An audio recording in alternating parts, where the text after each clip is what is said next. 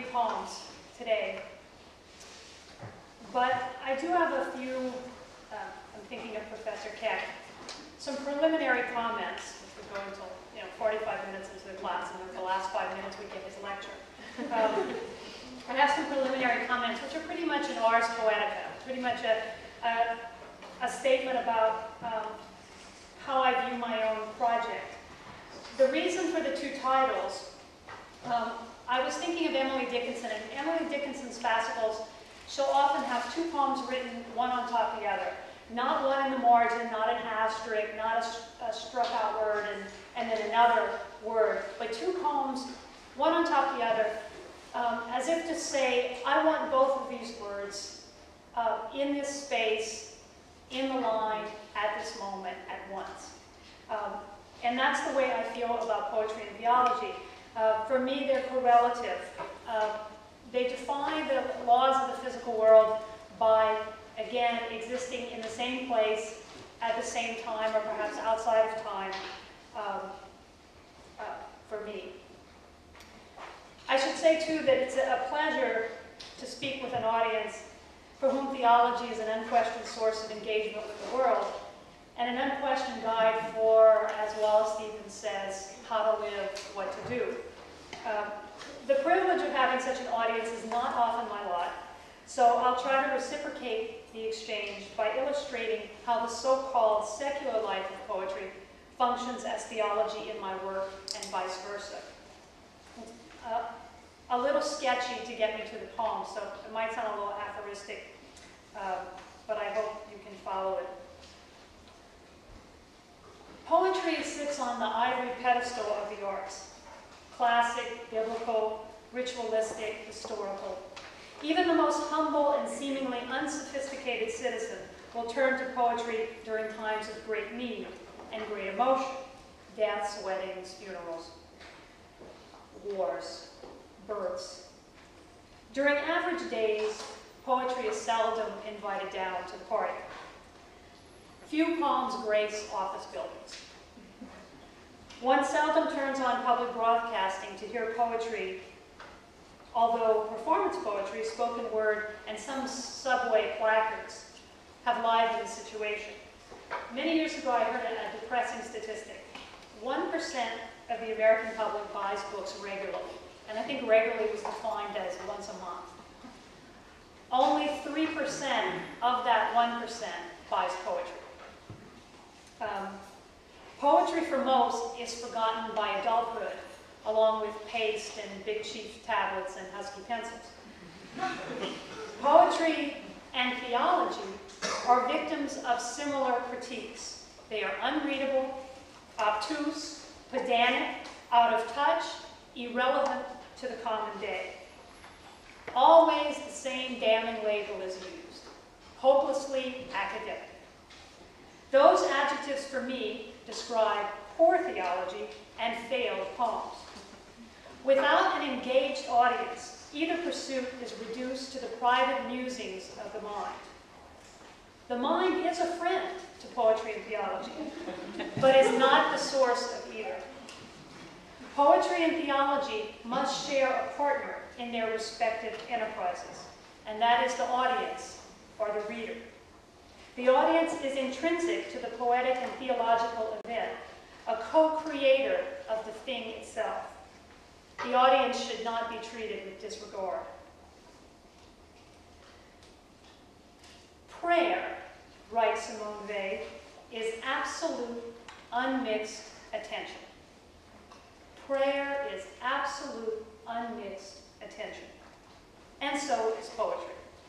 Both are joyfully and grievously, in the moment, all-consuming. And both direct the heart to the Word. The Word is the means to the divine end. And the Word is not a signifier, but the thing itself. It is both vehicle and tenor at once. Passion for language is a creative force in both poetic and theological endeavors. Poetry, I assert, can help theology avoid the graves of cliche and old metaphors. Fixation on any image or fixture is idolatrous, and reminds us why grave and graven have similar roots. Poetry is fluid, ready to accept a new rhythm and a better phrase if either will further the cause of precision. As Richard Hugo writes, you owe reality nothing, and the truth of your feelings everything. For our purposes, I would offer, you owe reality nothing because this reality is not the reality the theological poet is struggling to reach. Poetry strives for the clearest, most specific image. Poetry knows that metaphor is not a lesser reality, a poor substitute, as in, oh, that's just a metaphor. And paradoxically, poetry asserts itself as being part of the genre of fiction. Poetry is a made thing. No, the paradox of metaphor is the truth that it alone has access to the divine, and that it can never fully grasp the divine. Still, it remains our best bet. In this way, poetry is sacramental. I await an essay by the poet Scott Cairns, who happens to be Greek, Greek Orthodox, on this matter. He gave an address at the Associated Writing Programs Convention last spring in which he expressed confidence in the transubstantiated nature of poetry with greater eloquence than I ever have. But it feels uh, very much like he's speaking for me as well. Poetry does not mean, and it does not point, and it does not show. Poetry does not represent the thing. It is not symbolic of the thing. It is the thing itself. Its power is conjured between the audience and the poet. It is mysterious, respectful of silence. Without silence, like I have to tell you guys, without silence, there is no music. Without music, there is no poetry. Poetry is composed, after all. Poetry owes more to music and to sculpture than it does to prose writing. Poetry is shaped. Poetry sings. When it does not, its pedestal is easily passed by by those who rightly know there's something better to which they can give their time. For me, there is no possibility of, of untangling the poetic and the theological impulse. Their vibrancy rests in the imagination, and they call us to rest in the imagination, not as an escape, but as a return home. I couldn't decide whether or not I was going to tell you this story. but I'm, I'm, feeling a little warmer in here, so I think I can tell it. Um, sort of odd where my musings, my current musings on the imagination um, got the most recent spark from.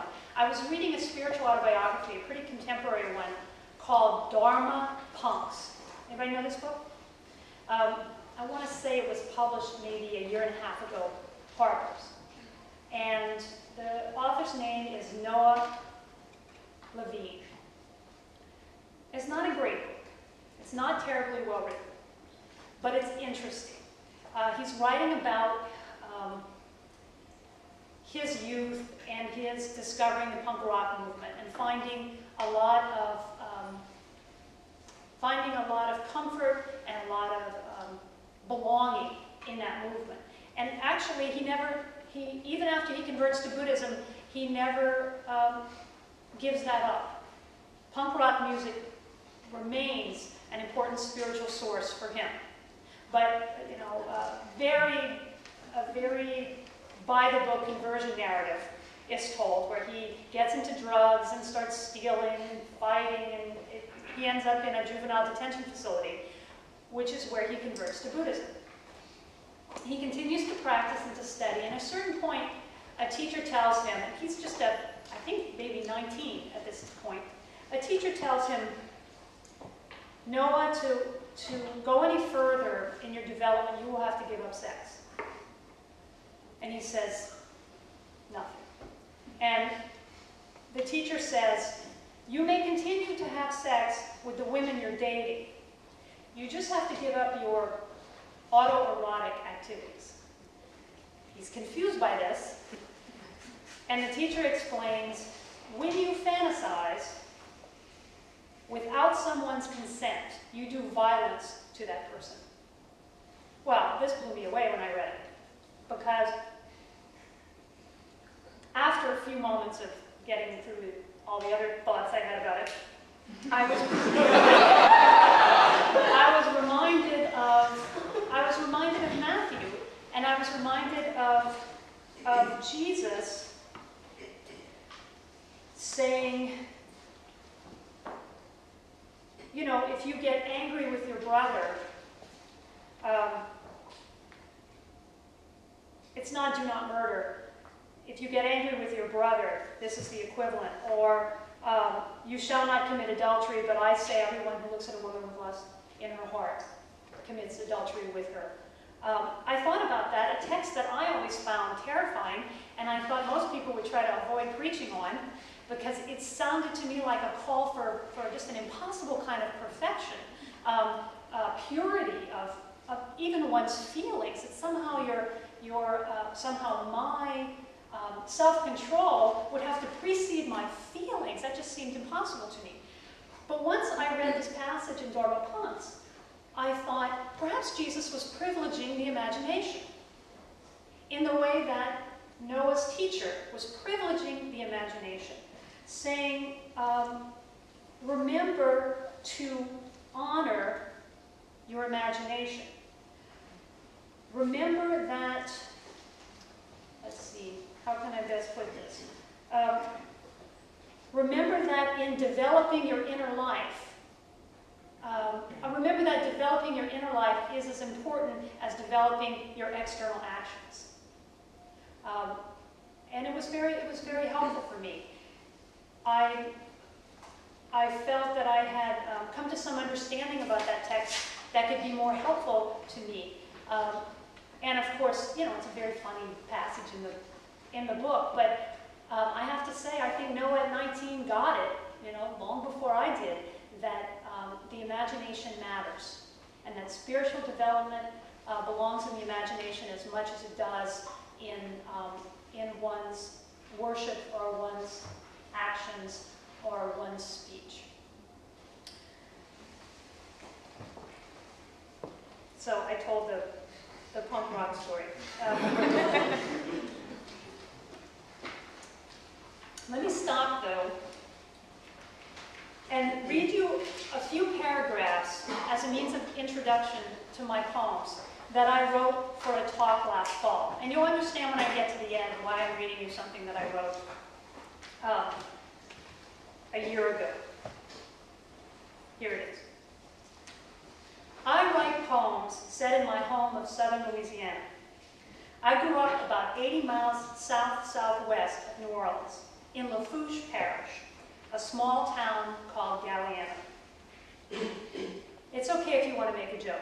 I didn't know there was anything south of New Orleans. Um, but for now, at least, for now, at least, there is.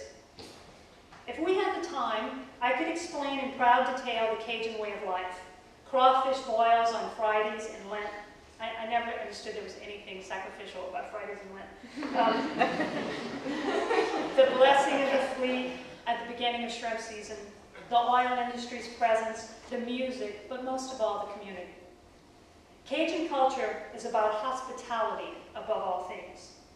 A paradoxical kind of hospitality, of course, because it brushes against a kind of clannish protection of extended families and native-born kin even as it opens himself to care for visitors and transplants.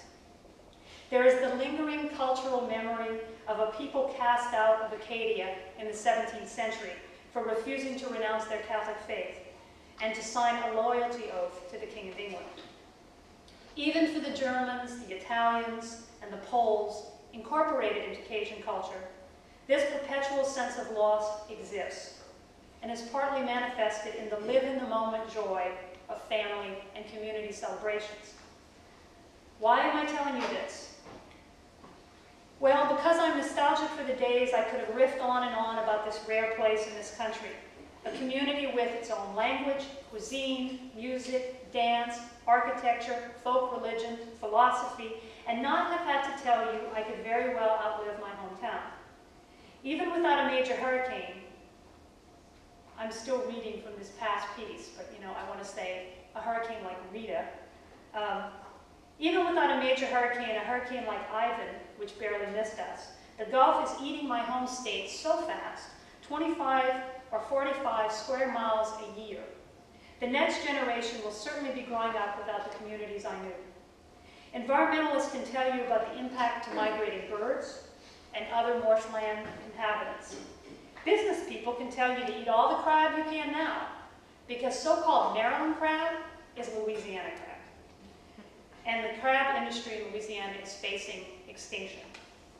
Even oil executives who dredged canals through the marsh, exponentially increasing coastal erosion, who sped the destruction with help from fertilizer runoff in the Mississippi River and a disastrous levee project to protect the saucer that is New Orleans.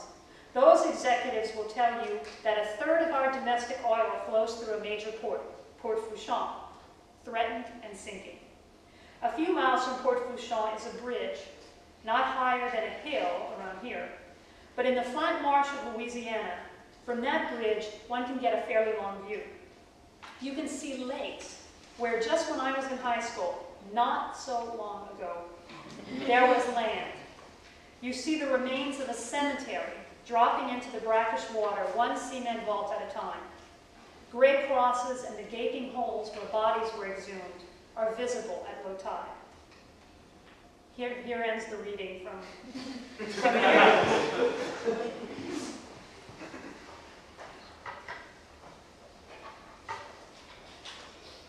Today, because of the media coverage of Katrina's devastation, you probably understood more of this context than my audience last year. You have heard much about the polluted Mississippi, the faulty leveeing, and the American entitlement to cheap gas that has destroyed southern Louisiana. But for my part of the state, an estuary of 600,000 people, the big one has not hit, at least not now. Katrina took a last-minute easterly jag, which we thought spared New Orleans, but did spare my hometown somewhat. The irony here is that the levees meant to save New Orleans while killing the marsh ended up trapping New Orleans because the marsh was not there to absorb some of the floodwaters and weaken the winds. Bureaucrats, for at least 80 years, toyed with the lives of others and sacrificed the powerless for the hubris of the few. In my poetry, I've been borrowing shamelessly from Simone Weil's writings on decreation. The dissolution of the land as metaphor for the dismantling of the self, which for Weil is a necessary suffering to achieve union with the divine. Because, despite my impulse to educate and urge people to change, I'm an elegist, and I know it. What I write about is already gone. So the poems I'm about to read may sound eerie, but I assure you all of them were written years ago. The topic is not new, and the context of my work is not unique. In most cases in these poems, the land and the people serve as vehicles for theological longing. These are the sounds and colors of my home in the immediacy it still holds for me, a present tense paradox of old and new, abundance and loss. I'm going to start with a couple older poems from Cote Blanche, and then read some new poems. But of course, new is. You know, I lied. All of these poems, all of the new poems are not years old. There's one that I wrote in about June, but I'll tell you which one that is. All the others are, are several years old. The first poem is titled, As If There Were Only One. Shameless borrowing is not something I'm afraid of. In the morning, God pulled me onto the porch, a rain-washed gray and brilliant shore. I sat in my orange pajamas and waited. God said, look at the tree, and I did. Its leaves were newly yellow and green, slick and bright. and so alive it hurt to take the colors in. My pupils grew hungry and wide against my will. God said, listen to the tree. And I did. It said, live. And it opens itself wider, not with desire, but the way I imagine a surgeon spreads the ribs of a patient in distress and rubs her paralyzed heart. Only this tree parted its own limbs toward the sky. I was the light in that sky. I reached into the thick, sweet core and I lifted it to my mouth and held it there for a long time until I tasted the word, tree, because I had forgotten its name. Then I said my own name twice, softly. Augustine said, God loves each of us as if there were only one of us, but I hadn't believed him. And God put me down on the steps with my coffee and my cigarettes. And although I still could not eat nor sleep, that evening and that morning were my first day back.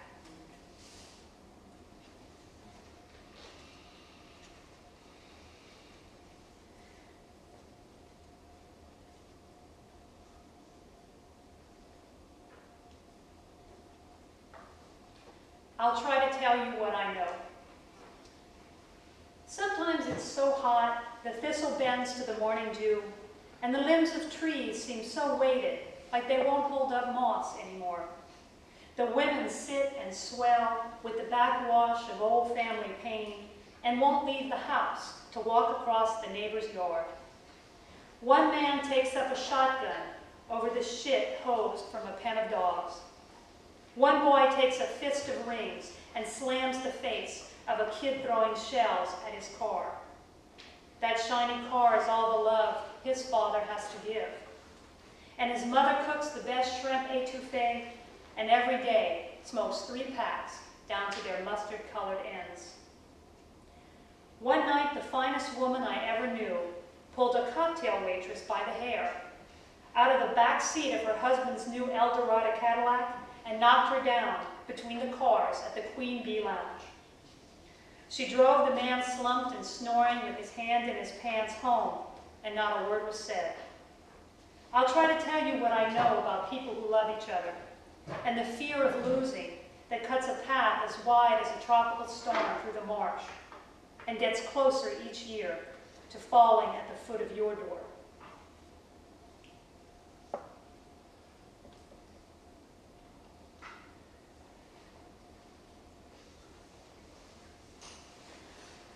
I have, a, I have a Dante poem, and it occurs to me that this should be, you know, dedicated to the spirit of Peter Hawkins. He was my advisor when I was here. I don't know if I ever showed him this poem. I probably shouldn't, right? Don't show a, a Dante scholar a Dante poem.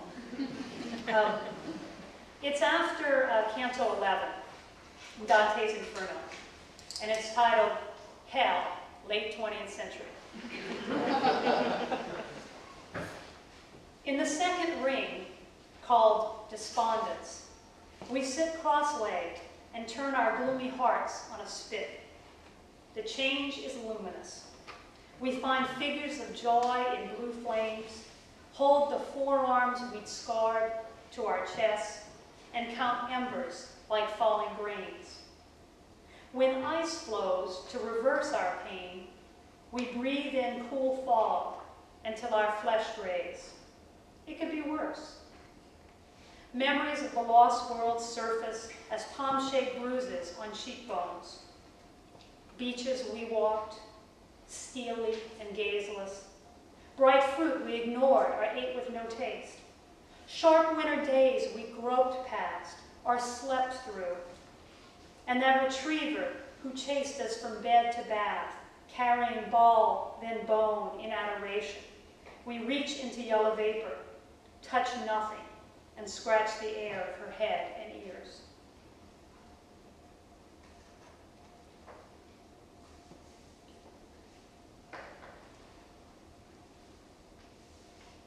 This is the last one I'll read from Cote Blanche. It's called um, Conversion.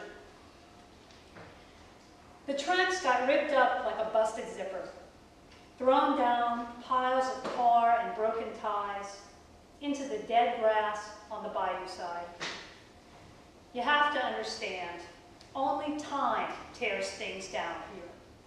Long after you quit a house, pack up and leave, that house stands cataloged under sheets of rust, painless, porchless, for years. Cast iron kettles won't move, won't be moved. The air above their bellies still and sharp. No one remembers the cane they boiled or how they came to kill grass where they do. Half an old bridge makes a sweet fishing spot. But taking the rails away, it was an insult, really, a theft. I saw how one loss collapses into another, the rings between them almost indistinguishable. But then to the right of the road, the shoulder leapt with sunflowers, the blue sky dangled like a scarf, and the part of me that was buried came back like the dead after hard rain, just pushed up the glass lid and stepped onto solid ground. Backwater rises to its own schedule, covers the highways. You can't tell the bayou's banks from the road's edge. And then there's no question of staving off conversion. Even the dead won't be held down.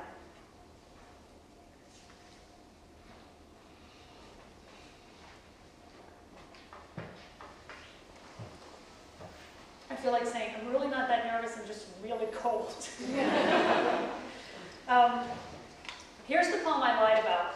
I thought everything in here was a couple years old, but I wrote, I wrote this poem at the beginning of the summer. And it's not per se a Louisiana poem, but then I think all of my poems are Louisiana poems, even if they're set someplace else. This is titled Creation, and it's, it's a divine address, i.e. the U's are capitalized. Creation. From the beginning, we knew you were a mud dauber, that we'd have to look for you under the eaves, that you'd be so intent on your crude grottos, you wouldn't perceive our scrutiny. And of course, later, you would come spiraling down, stinger first, your inadequate warning so much like everything we make. An idle hum, an idle motor, softer than the gentle hummingbird who passes by your clay cells in search of something blue, something unambiguous, whose flames destroy, destroy and keep us warm.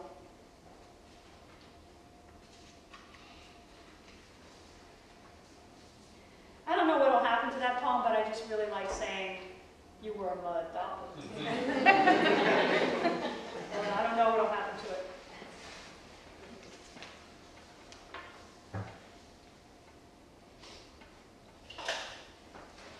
I'll, I'll tell you something about this poem before I read it. It's called The Water. And um, there's this line in it about a brother-in-law. And when I read it, you'll hear it. And so it was published recently, and I had to call my sister. This is the kind of stuff you think you would have to do. And I had to say, listen, I think you might see this poem. And I just want you to know this is a generic brother-in-law. This isn't necessarily so-and-so. Although it really is. So.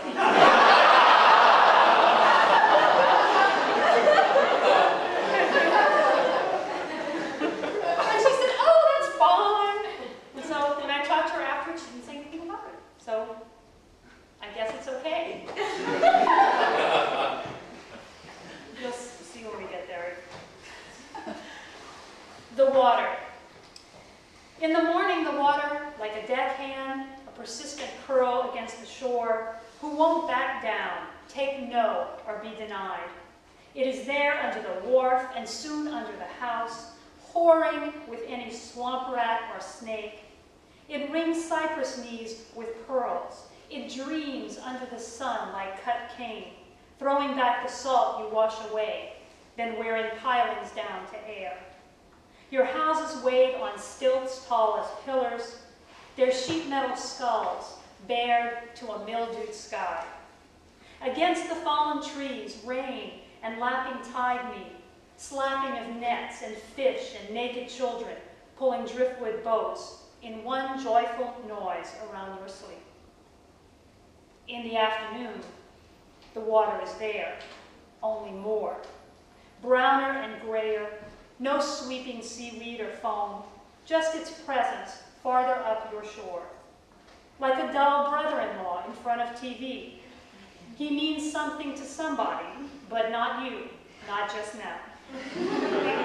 its slow wake seems harmless, the litany of waves before a storm, rolling benignly ashore, intoxicating. And then it is there, all gray length of it, rich sex of it. It wants you so badly. It pounds at the door. Let me take your smallness, your jetties, your broad coasts, your loam. It gathers at night beyond the curtain of mosquitoes, darker than the shut down sky, the boarded up clouds. Its desire thrums like an idling outboard.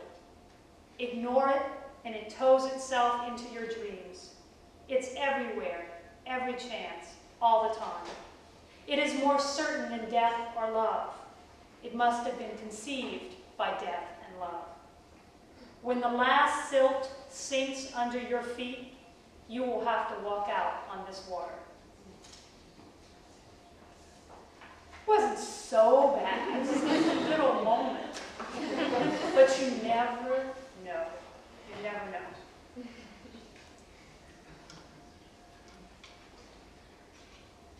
Uh, this is, this is a, I just came from the contemporary poetry class. This is sort of an extension of discussion with my class, but um, in, in the Côte Blanche is this poem, there's this mention about how nobody in my family, my mother's family, can swim. They're all Sicilian, and they weren't allowed in the pool during the war because they were Italian. The pool was owned by the Knights of Columbus. I know, don't even say anything, but that's how it was. And so I had this little mention of this in this poem. You would have thought that I had, like, taken out members of our family and machine gunned them because I had said this thing about the Knights of Columbus. Of course, nobody in my, nobody in my mother's family, of course, belongs to the Knights of Columbus because they're good Sicilians and they don't forget. Um, so I didn't really understand why I had done this terrible thing, but that was really just like one line, you know. Can't you take that poem out? so you, so it's a word to myself, you just never know, and that's why above your desk you tack Gertrude Stein's quotation, one writes for oneself and for strangers.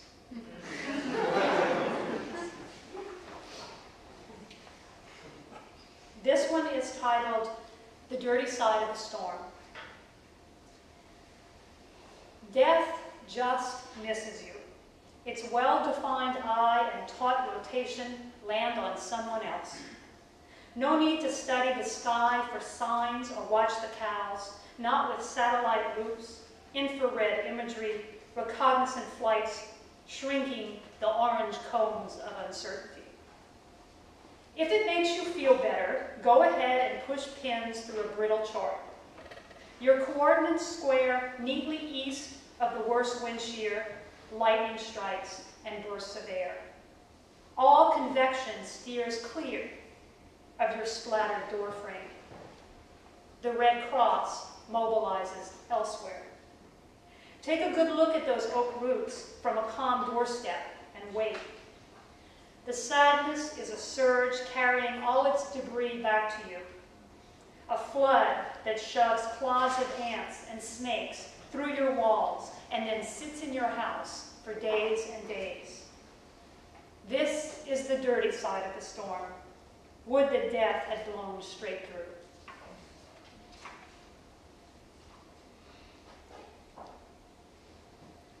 I mentioned the, um, that graveyard in Leeville. I didn't mention the place, but it's Leeville, Louisiana, that the water has just sort of taken over this graveyard and the graves are slowly falling in. And the bodies were exhumed and they're in this new graveyard, you know, like an eighth of a mile away. How long is that going to last? But, um, but what's not in the poem, and actually this is terrible because I'm going to tell you a story I think it's more interesting than the poem, it, is that when you, if I took you to see this, this graveyard in the water, people would be fishing there because the fish hide in the tombs. It's made a nice little artificial reef. Now there are no bodies there anymore, but it's just kind of weird to see, you know, People just on all these graves, but that's what you can see. And I was, I was just home a couple weeks ago, and those, those graves are still there. They're, you know, more in the water or whatever, they're more submerged, but they're still there. And, and after this next storm passes, people are going to be fishing. And it's, it's more interesting than the poem, I'm afraid. this is titled The Burial at Sea, Leeville Cemetery, Louisiana. They must have heard it coming. The relentless marsh water throwing itself against their walls, salt heavy and exhausted, day after day. The old bricks warmed in the noon sun. It must have sounded like regret, like a bunkmate's throaty breathing, getting louder and closer as the deckhands roll from sleep. It must have set the marsh struggling, high tide's long muddy arms that lift bodies into a bath or onto the quilted gulf. It must have kept them company, the persistent lapping, the slow rock down. When one holds still, the world's rough motions calm into shining ripples. They must have been comforted that change is possible for the dead.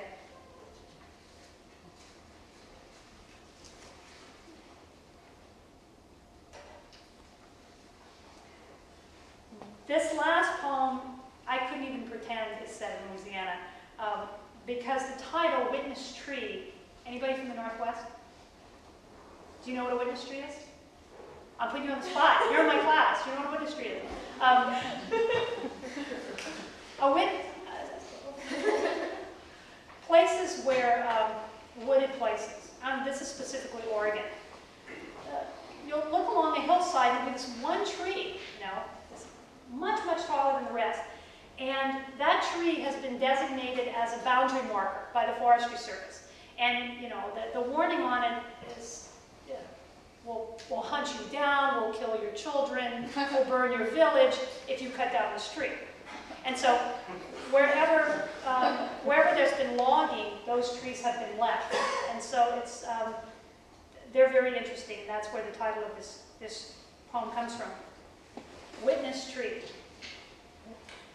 To the right of the altar, Joan of Arc, shorn and shielded and very much alive.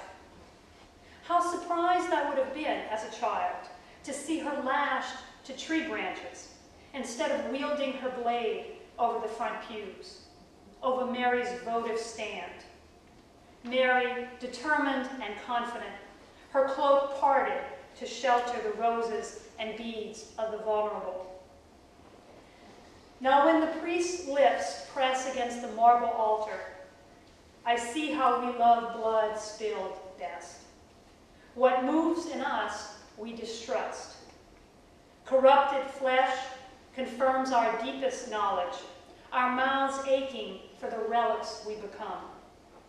In the forest cathedral, the firs refuse to still, pulsing on the hillside, chanting even as the brush below them smolders and the fields settle in a deep red brown. How small the bloodshed must look to the witness tree from its vantage on the ridge. Its maroon stripes, only paint, warning loggers away. Still, it notes every gesture in its rings, tastes acrid smoke from the fires below, recognizes the faces in the fields, dogs that chase elk, those that lie down in the dust, and are welcomed on some other hill it alone sees. Vision without sacrifice, the tree that cannot be felled, stronger and greener, that breathes in death and joy with disinterest, and breathes out life and more life. Thank you.